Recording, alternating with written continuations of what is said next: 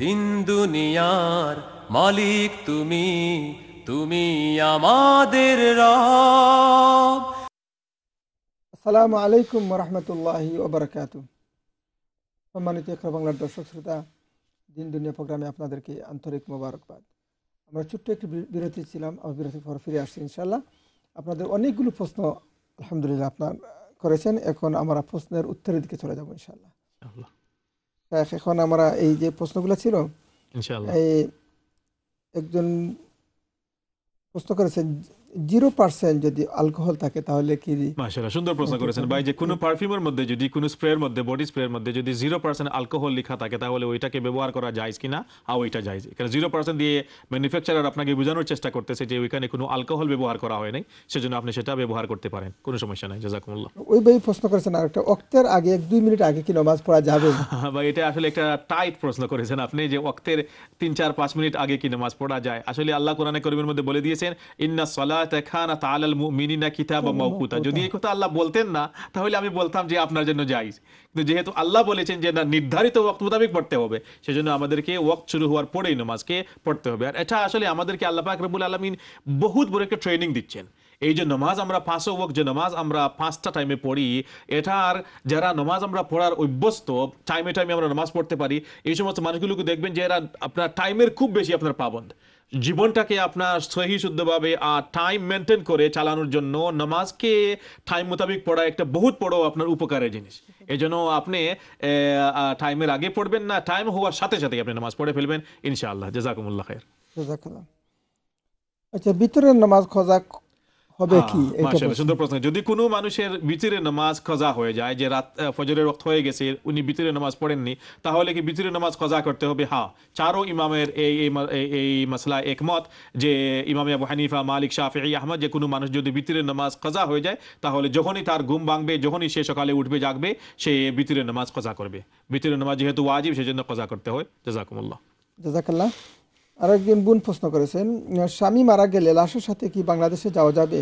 হ্যাঁ বোন সুন্দর প্রশ্ন করেছেন। আপনি আপনি আপনার স্বামীর সাথে আপনি যদি আপনার সাথে আরও কোনো মাহারাম থাকেন তাহলে আপনি যাইতে পারবেন। শুধু লাশ নিয়ে আপনি একা যাওয়া এটা অনুমতি না। আপনার সাথে যদি আপনার ছেলে, ভাই বা মামা, যাদেরকে শরীয়তের পরিবেশে মাহারাম বলা হয়, যাদের সাথে বিয়ে শাদী হয় না, তারা যদি কেউ থাকেন আপনার সাথে, তাহলে উনাদের একজনকে সাথে নিয়ে আপনি ডেড বডিকে নিয়ে দেশে যেতে পারবেন, একা পারবেন না। জাজাকুমুল্লাহ আরেক ভাই প্রশ্ন করেছেন, কসরের নামাজ উনি বলছেন যে কতদিন পর্যন্ত থাকবে? হ্যাঁ মাশাআল্লাহ সুন্দর প্রশ্ন করেছেন যে কোনো মানুষ যদি এতটুকু লম্বা সফর করে যেটাকে আটচল্লিশ মাইলের বাইরে হয়ে যায় তখন ওই জায়গায় যাওয়ার পরে কতদিন পর্যন্ত সে কসরে নামাজ পড়তে থাকবে? যদি আপনি কোনো কাজের জন্য যান আপনার প্রশ্নের উত্তর দুইভাবে দেওয়া যায়। একভাবে হলো যে যদি আপনি এমন কোনো কাজের জন্য আপনি গেছেন যাওয়ার পরে আপনার ধারণা যে এই কাজটা এক দুই দিনের মধ্যে হয়ে যাবে। কিন্তু ওখানে যাওয়ার পরে দেখা যায় যে বিভিন্ন কারণে কাজটা বিলম্ব হচ্ছে বিলম্বে হচ্ছে বিলম্ব হচ্ছে আর আপনার কাছে কোনো ক্লু নাই যে এটা কয়ে হয়ে হবে।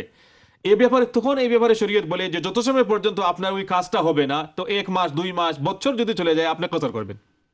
যেমন অনেক সময় দেখা যায় বাংলাদেশে গেলে এই দেশে তো আমাদের অনেক অফিসের কাজ একটা ফোনে হয়ে যায়। কিন্তু বাংলাদেশে দেখা যায় ফাইল পত্র নিয়ে যাইতে যাইতে যাইতে যাইতে সপ্তাহ দুই সপ্তাহ মাস চলে যায় কিন্তু কাজটা হয় না। এমতা এরকম যদি কোনো সিচুয়েশন সৃষ্টি হয়, তাহলে যেহেতু ওই মানুষটা ওই কাজের জন্য গেছে, আর ওই কাজটা সেরে ফেলে সে আসবে, যত সময় পর্যন্ত ওই কাজটা হবে না, তত সময় পর্যন্ত সে মুসাফির গণ্য হবে। হ্যাঁ আর যদি আপনি হলিডেতে যান, যে আপনার কাছে, আপনার নির্ধারিত সময় যে আপনি চার সপ্তাহের জন্য যাচ্ছেন, তখন ওলামায় আমরা বলেন, হানাফি উলামায় আমরা বলেন যে যখন আপনি পনেরো দিন এর বেশি আপনি থাকার নিয়ত করে ফেলবেন, তখন পনেরো দিনের পরে আপনি নামাজকে পরিপূর্ণ পড়বেন, চার রাকাত পড়বেন জুহর, আসর আর ঈশা, আর পনেরো দিনের ভিতরে আপনি দুই রাকাত করে পড়বেন। জাজাকুম আল্লাহ জাজাকুমুল্লাহ খায়ের জাযাকাল্লাহ। আহ, আরেকজন প্রশ্ন করেছেন খিজির আলাইহিসসালাম সম্পর্কে আচ্ছা জানতে সুন্দর প্রশ্ন করেছেন। যে খিদির আলাইহিস সালাতু ওয়াসালাম আমাদের বাংলা ভাষায় বলে দেওয়া হয় খিজির। খিজির। আসলে আরবি শব্দ হলো খাদার। খাদার। খার উপরে উপরে ফথা হবে জবর হবে আর দোয়াদের নিচে আহ, উপরে আপনার সাকিন হবে খাদর। তো খাদার আলহি সালাতাম সম্পর্কে এভাবে কোনো আপনার আহ, ব- বক্তব্য আমি পাইনি কোনো সুরত সিরতের কিতাবে বা ইতিহাসের কিতাবে যে সঈদুনা খাদার আলহি সালাতাম এখনও জীবিত আছেন কিনা আল্লাহ আলাম লুকমুখে শোনা যায় যে উনি জীবিত আছেন আল্লাহ আলাম। তাহলে এটাকে বর্ণনা করার ব্যাপারে কোনো সাপোর্ট কোনো নেরেশন কোনো রেওয়ায়ত আমার সম্মুখে পড়েনি আল্লাহ আলাম। যে জিনিস জানা নাই সে ব্যাপারে আল্লাহ আলাম বলে নেওয়াই ঠিক আল্লাহ আলাম। জি। জাজাকাল্লাহ আরেক ভাই জানতে চেয়েছেন ছোট ছোট দোয়া যে সেজদার মধ্যখানে পড়া হয় একটা হ্যাঁ, মাশাআল্লাহ, সুন্দর প্রশ্ন করেছেন ভাই। অনেক দোয়া আল্লাহ রসুল সাল্লাল্লাহু আলাইহি ওয়াসাল্লাম সম্পর্কে আমরা কাছ থেকে আমরা পাই যেটা হাদিসের মধ্যে আসছে। এই দোয়াগুলো কোনো কোনো ক্ষেত্রে আল্লাহ রসুল সাল্লাল্লাহু নিজেই কোনো সময় আপনার দোয়ার মধ্যে শব্দ বাড়িয়ে পড়েছেন কোনো সময় আল্লাহ রসুল সাল্লাহ সাল্লাম শব্দ কম করে পড়েছেন। আপনি যে অবস্থা বর্ণনা করছেন যে নামাজে দুই সৈদার মধ্যখানে যে দোয়া এই দোয়াটা দুই নিয়মে পাওয়া যায়। একটা নিয়ম হলো শুধু আবু দাউদের রেওয়ায়তের মধ্যে আসছে রব্বিক ফিরলি বাস।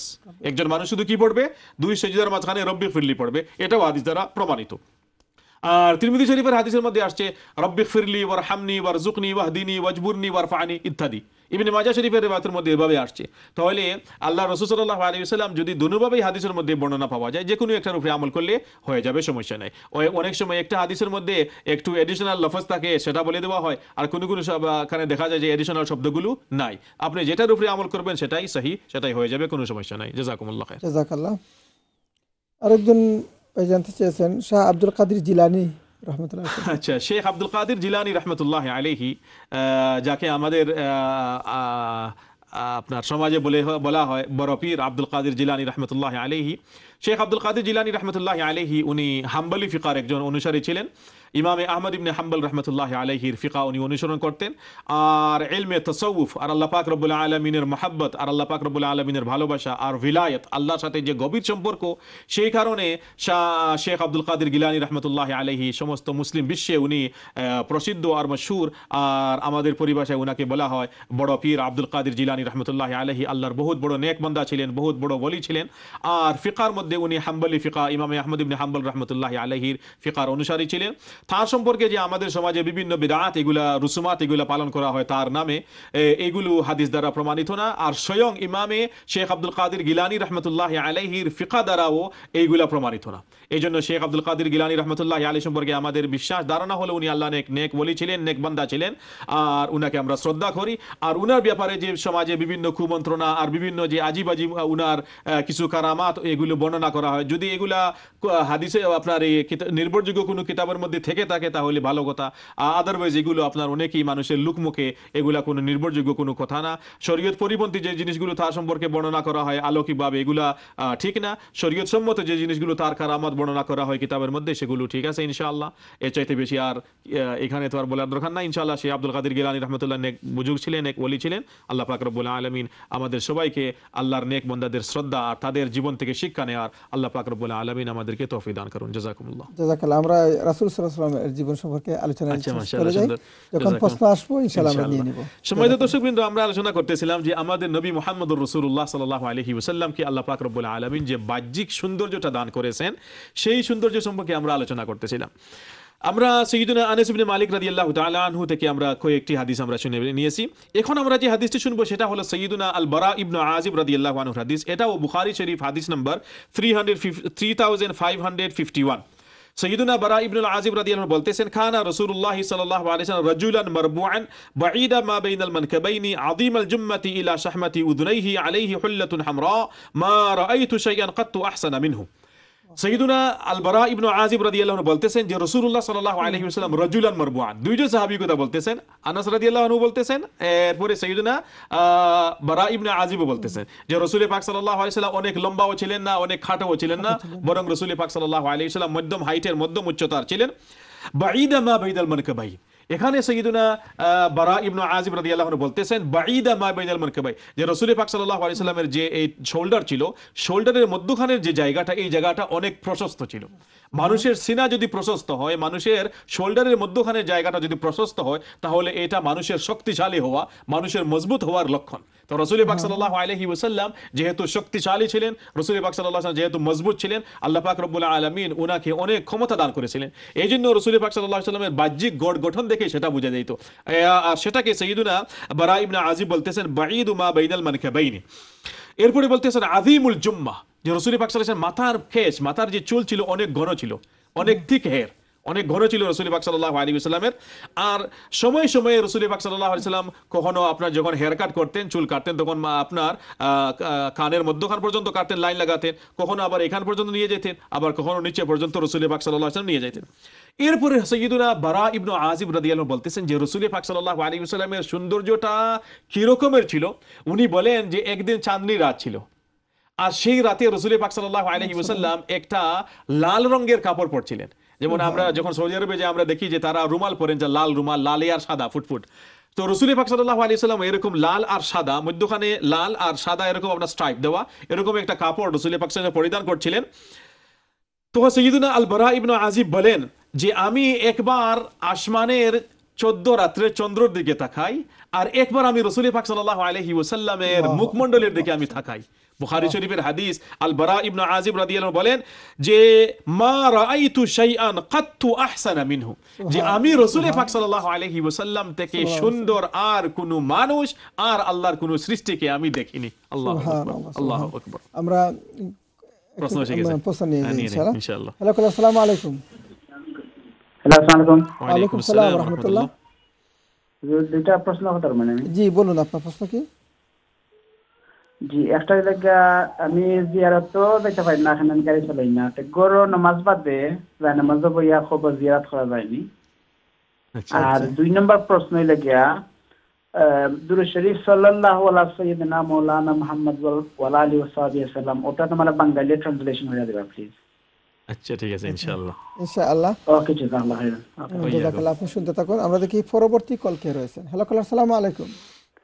ওয়ালাইকুম সালাম রহমতুল্লাহ বারাকাতু জি আপনার প্রশ্ন কি বলুন বলুন রসুল্লাহ ইসলাম সুরা মৌলকে কোন টাইমে পড়ছো ওখান জানতাম সেটা আরবার হোকা can you repeat your question again রসুল্লাহ ইসলাম সুরা মুলক যে সূরা মুলক তাবারাকাল্লাহ জি কোন টাইমে পড়তা তাই আচ্ছা আচ্ছা ওকে জাযাকাল্লাহ। এসা নামাজ পড়ে পড়তানি না ন- ঘুমাইবার আগে পড়তা ওখান জানতাম সেটা। ওকে ওকে ঠিক আছে ইনশাআল্লাহ শুনতে থাকুন জাজাকাল্লাহ আপনি শুনতে থাকুন ওয়ালাইকুম ওয়ালাইকুম আসসালাম আসসালাম রহমতুল্লাহ। হ্যালো আসসালামু আলাইকুম। আসসালামু আলাইকুম। হ্যালো? জি আসসালামু আলাইকুম। ওয়ালাইকুম আসসালাম। জি আপনার প্রশ্ন কি বলুন? আমার একটা প্রশ্ন আছিল। জি বলুন আপনার প্রশ্ন কি? অন্য একটু আগে হুজুরে বলছিলেন যে জুমার নামাজের চার রেখাত প্রথমে পড়তে হয় আর পরেও চার রেখাত পড়তে হয়। কিন্তু প্রথমের যে চার রেখাত এটা কি সু- সুন্নতে মুআক্কাদা আর আমার আরেকটা প্রশ্ন হইল আমি যখন নামাজে গেলাম যাইয়া দেখলাম যে খুতবা আরম্ভ হয়ে গেছে তখন কি আমি এই চার রেখাত নামাজ পড়তে পারব? না পরে পরে চার রেখাত পড়লে হবে? জাজাকাল্লাহ। জাজাকাল্লাহ। তো সুন্দর প্রশ্ন। জাযাকুমুল্লাহ জাজাকাল্লাহ। আমরা দেখি পরবর্তী কল কে রয়েছেন হ্যালো আসসালামু আলাইকুম। আসসালামু আলাইকুম।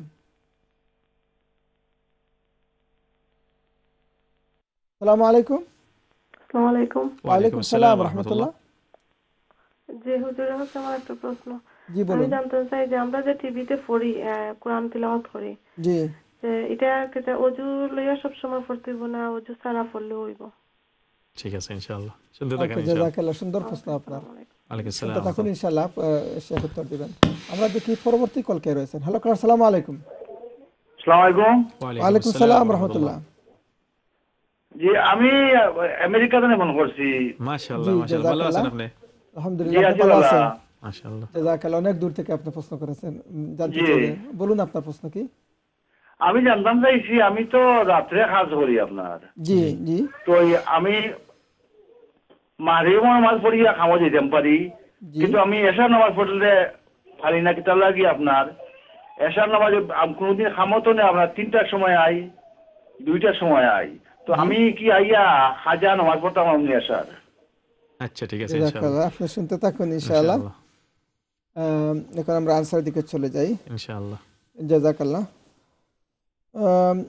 কবর জিয়ারত সম্পর্কে জানতে চেয়েছেন। কবর জিয়ারত কি উনি কি ঘরে সুন্দর প্রশ্ন করেছেন। নিজের বাসা থেকে কি করতে পারবেন। এটাই কি?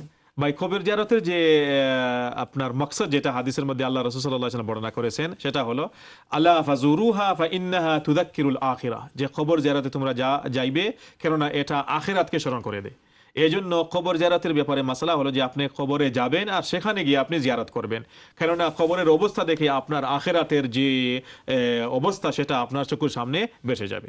নিজের ঘরে বসে বসে কবর জিয়ারত হয় না, আপনি দোয়া করতে পারেন। আল্লাহ পাক রব্বুল আলমিন আপনার সমস্ত যারা দুনিয়া ছেড়ে চলে গেছেন, আল্লাহ পাক রব্বুল আলমিন তাদের কবরকে আল্লাহ পাক রব্বুল আলমিন যেন জান্নাতের বাগিচা বানা দেন, আমরা দোয়া করি। ঘরে বসে শুধু দোয়া হবে, জিয়ারত হবে না। জিয়ারতের জন্য আপনি কবরে যাইতে হবে। জেজাকুমুল্লাহ। জাজাকাল্লাহ। আরেক ভাই জানতে চাইছেন রাসুল সাল্লাম রসুল সাল্লাম আচ্ছা আরেকজন বোন জানতে চাইছেন সুরা রসুল সাল্লাম সুরা মুল্ক। হ্যাঁ কুরসুমে পড়তেন কখন হ্যাঁ, পড়তেন? হ্যাঁ, মাশাআল্লাহ জাযাকুমুল্লাহ সূরা মুলক আপনি নামাজের পড়ে পড়বেন। নামাজের সাথে সাথে পড়েন অথবা ঘুমানোর আগে পড়েন যে কোনো সময় আপনি সূরা মুলক পড়তে পারেন। অনুমতি আছে। জাযাকুমুল্লাহ আরেকজন প্রশ্ন করেছেন জুমার নামাজ প্রথম যে চার রাকাত। হ্যাঁ মাশাআল্লাহ সুন্দর প্রশ্ন করেছেন ভাই। সময় যদি হয়ে যায় তখন হ্যাঁ কি আমরা যখন জুমার নামাজে যাই যখন তখন আমরা যদি দেখি যে ইমাম সাহেব যে আঞ্চলিক ভাষায় যে ওয়াজ করেন আইদার বাংলা ভাষায় হোক বা ইংরেজিতে হোক ওই সময় যখন আমরা মসজিদে ঢুকবো তখন যদি আমরা ইমাম সাহেবের ওয়াজ শুনতে চাই তাহলে আমরা ওয়াজও শুনতে পারব। আর ওয়াজ শোনার মধ্যে অনেক আমাদের জন্য ফায়দা রয়েছে। আর যদি সেই সময় আমরা কাবলাল জুমা পড়ার আমরা ইচ্ছা করি, তাহলে ইমাম সাহেবের সম্মুখ থেকে একটু সরিয়ে আমরা যেখানে ইমাম সাহেব আমাদেরকে দেখতেছেন না ইমাম সাহেবেরও ডিস্টার্ব হলো না, আর আমারও ইমাম সাহেবের বক্তব্যের কারণে ডিস্টার্ব হলো না, এমন জায়গায় দাঁড়িয়ে কাবলাল জুমাও পড়া যায় আর তাহিয়াতুল মসজিদও পড়া যায়। আর যদি আপনি মসজিদে ঢুকেন আর যখন দেখবেন যে আরবি যে খুতবা যেটা ওয়াজিব সেটা শুরু হয়ে গেছে, তখন না তাহাইয়াতুল মসজিদ পড়বেন, না কাবলাল জুমা পড়বেন। হ্যাঁ কাবলাল জুমা আপনি জুমার নামাজ ফরজ আদায় হওয়ার পরে আপনি কাবলাল জুমা আপনি পরে পড়তে পারেন। প্রথমে আপনি পড়বেন চার রাকাত বাদাল জুমা এরপরে দুই রাকাত বাদাল জুমা এরপরে যে চার রাকাত রয়ে গেছে সেটা আপনি পড়ে নিতে পারেন। অনুমতি আছে। জাজাকুমুল্লাহ। জাজাকাল্লাহ আরেকজন বোন জানতে চেয়েছেন টিভিতে যে কোরআন শরীফ পড়া হয় এটা কি অজু করতে হবে না যদি আপনি কোরআন শরীফ আহ, টিভিতে শুনেন আর হুজুরের কাছে আপনি কোরআন পড়ে থাকেন আর আপনার সামনে মাসহাফ কোরআন শরীফ খোলা থাকে না তাহলে আপনার ওজুর দরকার নেই। আপনি যেহেতু কোরআনে করিম টাচ করতেছেন না সেজন্য ওজুর দরকার নেই। হ্যাঁ যদি কোরআন শরীফ আপনার সামনে খোলা থাকে তখন আপনার অজু অবশ্যই আপনাকে ওজু করতে হবে। আর যদি আপনি কোরআন শরীফ ছাড়া এমনি মুখস্থ পড়তেছেন তখন আপনার অজু দরকার নেই আপনি এমনি পড়তে পারেন। তাহলে উত্তম হলো কোরআন শরীফ যখন আপনি পড়বেন শিখবেন তখন অজু অবস্থায় থাকা এটা হলো ভালো। জাজাকুমুল্লাহ খের জাজাকাল্লাহ। আরেক ভাই সুদূর আমেরিকা থেকে প্রশ্ন করেছেন রাত্রে কাজ করেন তখন এশার নামাজ পড়তে হয়তো অনেক দেরি হয়ে যায় তখন কি করবেন? জাজাকুমুল্লাহ ভাই, আপনি অনেক দূর থেকে প্রশ্ন করেছেন, জাজাকুমুল্লাহ আপনার এই প্রশ্নের জন্য আর আপনার এই ভালোবাসার জন্য আল্লাহ ফাকরবুল আলমিন আপনাদেরকে সেখানে দিনের উপরে কায়েম আর দায়ম থাকার আল্লাহ ফাকরবুল আলমিন তফি দান করুন, আমরা দোয়া করি। আপনি যে প্রশ্ন করেছেন যে ভাই, আপনি দুইটা তিনটা রাত্রে ঘরে আসেন আর আসিয়া আপনি ঈশান নামাজ কাজা পড়েন ঈশান নামাজের ব্যাপারে মাসআলা হলো যে মধ্যরাত্রির আগ্রে আগে ঈশান নামাজটা পড়ে নেওয়া, এটাই হলো উত্তম। সমস্ত ইমামগণের এটাই হলো রায় যে আপনি ঈশান নামাজ বারোটার আগে মধ্যরাত্রির আগ্রে আগে আপনি পড়বেন। এটাই হলো উত্তম আর এটাই হলো নিয়ম। কোনো কারণবশত যদি আপনি ঈশান নামাজ মধ্যরাত্রির পড়ে নিয়ে নিয়ে যান আর পড়ে পড়েন, ফজরের সুবেহে সাদিকের আগে আপনি পড়ে নেন, তাহলে আপনার সেই নামাজটা কজা হচ্ছে না আদাই হচ্ছে। আপনার নামাজ আদা হয়ে যাবে। তাহলে আপনি খেয়াল করবেন যাতে করে মধ্যরাত্রির আগে, রাত্রে বারোটার আগে যাতে আপনার নামাজটা হয়ে যায়। কেননা রাত্রে বারোটার পরে ঈশান নামাজকে পড়া ওলামায় কেরামরা বলেন সেটা মকরু হয়ে যায়। সেজন্য আপনি আপ্রাণ চেষ্টা করবেন যেহেতু নামাজ, আল্লাহ পাক রব্বুল আলমিন ফরজ করেছেন, ইন্না সালাতা কানাত আলাল মুমিনিনা কিতাবান মাওকুতা। নির্ধারিত সময়ের মধ্যে আল্লাহ পাক রব্বুল আলমিন নামাজকে ফরজ করেছেন। সেজন্য আমরা নামাজকে নির্ধারিত ওয়াক্ত মোতাবেক আমরা পড়ার চেষ্টা করি। আর যদি কোনো কারণবশত ঈশান নামাজ মধ্যরাত্রির পরে চলে গেছে, তাহলে নামাজ কাজা হবে না, নামাজ আদা হয়ে যাবে, কিন্তু মকরুর সাথে আদা হবে। যে এটা শরীয়তের দৃষ্টিতে এই জিনিসটা ভালো না উত্তম না? শরীয়তের দৃষ্টিতে শরীয়তে চায় যে আপনি ঈশা নামাজটা রাত্রে মধ্যরাত্রির আগে আপনি পড়বেন। জাজাকুমুল্লাহ খায়ের জাজাকাল্লাহ। আমরা আমাদের সাথে আসলে সময় একেবারে কম আচ্ছা। কম। আচ্ছা। এখন মাত্র চার পাঁচ মিনিট হয়তো আছে। আচ্ছা আচ্ছা এর জন্য আপনি ইনশাল্লাহ হ্যাঁ জাজাকুমুল্লাহ খায়ের। ঠিক আছে ইনশাআল্লাহ এখন আর প্রশ্ন যেহেতু আমরা নিব না সময় একেবারে কম এই আমরা যে আলোচনা করতেছিলাম সম্মানিত দর্শকবৃন্দ বিশ্ব মোহাম্মদুর রসুল্লাহ সাল্লাহ আলহি ওসাল্লামের যে বাহ্যিক সৌন্দর্য সেটা নিয়ে আমরা আলোচনা করতেছি। আর সম্মানিত দর্শকবৃন্দ এটার মূল লক্ষ্য আর উদ্দেশ্য হলো যে রসুল পাক সাথে আমাদের গভীর ভালোবাসা হবে। আমাদের ইমানের অবিচ্ছেদ্য অংশ হলো রসুল পাক আলহি ওসাল্লামকে ভালোবাসা। সহি বুখারী শরীফের হাদিসের মধ্যে আসছে রসুল পাক সাল্লাহ বলতেছেন লা ইউমিনু আহাদুকুম। লা ইউমিনু আহাদুকুম হাত্তা আকুনা আহাব্বা ইলাইহি মিন ওয়ালিদিহি ওয়া ওয়ালাদিহি ওয়ান নাসি আজমাইন তোমরা কখনো তোমাদের মধ্য থেকে কেউ কখনো পাক্কা ইমানদার হতে পারবে না। যত সময় পর্যন্ত মোহাম্মদুর রসুল্লাহ সাল্লাহ আলহি ওসাল্লাম তোমাদের কাছে তোমাদের ছেলে সন্তান মা বাবা আর সমস্ত পৃথিবীর মানুষের চাইতে অধিক অধিক প্রিয় না হয়ে যায়। আল্লাহ আকবর। তো রসুল পাক সাল্লাহ আলহি ওসাল্লাম কি ভালোবাসা এটা ইমানের অবিচ্ছেদ্য অংশ? আর রসুল্লাহ সাল্লাহ আলহি ওসাল্লামের সাথে ভালোবাসা গভীর হবে যত আমরা রসুল পাক সাল্লাহ আলহি ওসাল্লামের সম্পর্কে আমরা আলোচনা করব।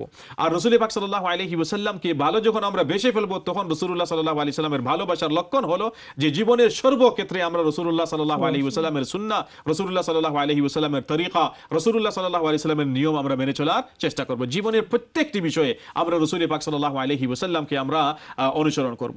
সম্মানিত দর্শক বিন্দু, যখন আল্লাহ পাক রব্বুল আলমিন রসুল পাক সাল্লাহ আলি সাল্লামকে এত সুন্দর, এত উত্তম বানিয়ে আমাদের জন্য পাঠিয়েছেন, রসুল পাক সাল্লাহ আলি সাল্লামের শিক্ষা অত উত্তম। রসুল পাক সাল্লাহ সাল্লামের চরিত্র এত উত্তম। তখন আমরা যখন রসুল পাক সাল্লাহ সাল্লামের শিক্ষা শিক্ষিত হব তার চারিত্রিক গুণাবলী নিজেদের মধ্যে আমরা সৃষ্টি করব তখন আমরাও উত্তম হয়ে যাবে। আমাদের দুনিয়াও উত্তম হবে আমাদের আখেরাতও উত্তম হবে। আর আখেরাতে আল্লাহ পাক রব্বুল আলমিন রসুল্লাহ সাল্লাহ আলহি ওসাল্লামের সাথে আমাদেরকে আল্লাহ পাক রব্বুল আলমিন জান্নাতের মধ্যে আল্লাহ পাক রব্বুল আলমিন আমাদেরকে একত্রিত করে দিবেন। সেজন্য সম্মানিত দর্শকবৃন্দ এই আলোচনা রসুল পাক সাল্লাহ আলহি ওসাল্লাম সম্পর্কে আরে এক দুইটি হাদিস পড়েই আমরা আজকে আলোচনা আমরা শেষ করে নিব। সৈয়দুনা আবু হুরাইরা রাদি আল্লাহ আনহু রসুল পাক সাল্লাহ কীভাবে সুন্দর ছিলেন? সৈয়দুনা আবু হুরাইরা রাদিয়াল্লাহু আল্লাহ উনি আরও ভিন্ন কায়দায় এই তো একটু একটু আগে আমরা হাদিস পড়লাম হজরতে বারা ইবনে আজিব আর হজরতে জাবির ইবনে সামুরা রাদিয়াল্লাহু তারা বলতেছেন যে চোদ্দই রাতে আমি রসুল পাক সাল্লাল্লাহু আলাইহি সাল্লামকে দেখলাম, একবার আমি আসমানের চাঁদের দিকে তাকাই আর একবার রসুল পাক সাল্লাল্লাহু আলাইহি সাল্লামের দিকে তাকাই। এরপরে উনি কসম খেয়ে বলতেছেন, ফালা হুয়া ইনদি আহসানু মিনাল কমর। আল্লাহর কসম, রসুল পাক সাল্লাল্লাহু আলাইহি ওয়াসাল্লাম চন্দ্র থেকে অধিক অধিক সুন্দর। যেহেতু মানুষ দুনিয়াতে সবচেয়ে সুন্দর একটা জিনিস মনে করে চাঁদকে। এই জন্য রসুল্লাহ সাল্লাহ আলিউসাল্লামের সাথে তুলনা করা হচ্ছে চাঁদকে। অথচ বাস্তবে রসুল্লাহ সাল্লাহ আলী সাল্লামের সাথে তার কোনো তুলনাই হয় না।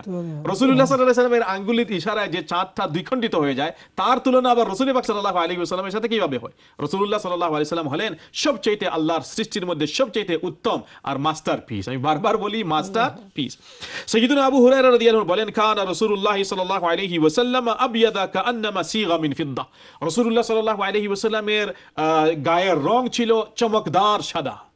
আর এরপরে বলেন কাআন্নামা সিগা মিন ফিদ্দা। এভাবে মনে হতো যেন রাসূলুল্লাহ সাল্লাল্লাহু আলাইহি ওয়াসাল্লামকে আল্লাহ পাক রব্বুল আলামিন সাদা দবদবা চমকদার রূপা দ্বারা আল্লাহ পাক রব্বুল আলামিন রাসূলুল্লাহ সাল্লাল্লাহু আলাইহি ওয়াসাল্লামকে সৃষ্টি করেছেন। কল্পনার দৃষ্টিতে সম্মানিত দর্শক দেখেন যে এত সুন্দর চেহারা আর সাথে কালো দাড়ি আর লম্বা চুল যেগুলো একেবারে সাদা ওনা আর কালি এটা আপনার কপাল মুবারকটা একটা কুশাদা আর সুন্দর আইব্রো সুন্দর সুন্দর গাল নাকটা একেবারে আপনার চেপটা না সুন্দর একটা নাক রসুল্লাহ সাথে মুখ মুবারক খুব সুন্দর। গুলগুল চক্ষু।